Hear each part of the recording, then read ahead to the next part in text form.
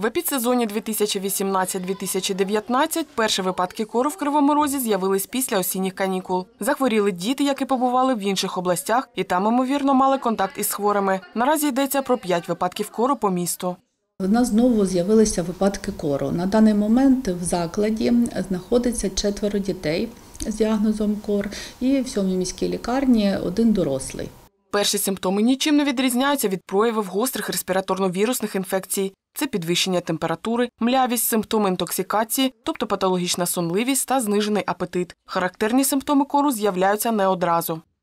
З кінці катарального періоду на щічках з'являються такі білесенькі е, п'ятнишки. І по ним можна, і потім вже з'являється висипка.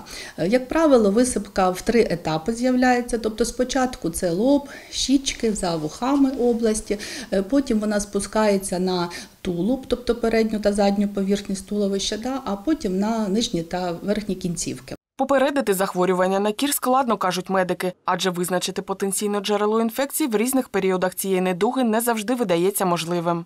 Джерелом інфекції є людина, яка захворіла на кір. Як правило, це е, останні два дні інкубаційного періоду, так, ось катаральний період, і е, перші п'ять днів висипки. Ну, тобто інколи ми не можемо знати, контактували ми з хворим на кір чи ні, да, бо ще характерних симптомів не було.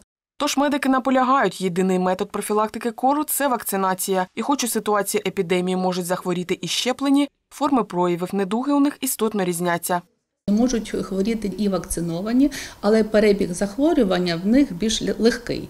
І немає таких тяжких ускладнень, як пневмонія чи то менінгоенцефаліти, які можуть привести навіть до смертельних випадків. Середній рівень вакцинованих від кору в Україні складає близько 72%. У Кривому Розі цей показник значно вищий – 92%. Як наголошують інфекціоністи, при рівні вакцинації населення в 95-97% захворюваності на кір можна повністю уникнути. Тож котре закликають криворіжців дотримуватись календаря щеплень. Олена Мухіна, Володимир Нестор. Цей день.